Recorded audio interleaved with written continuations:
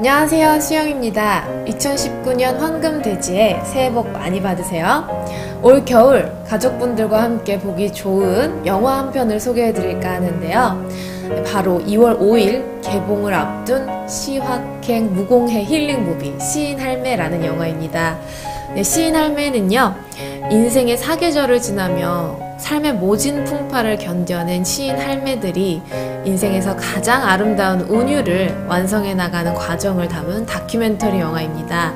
설날 가족분들과 함께 행복한 시간 보내시고 또 2월 5일 극장에서 함께 관람하시면 2019년 더욱 따뜻한 한 해의 시작이 되실 겁니다.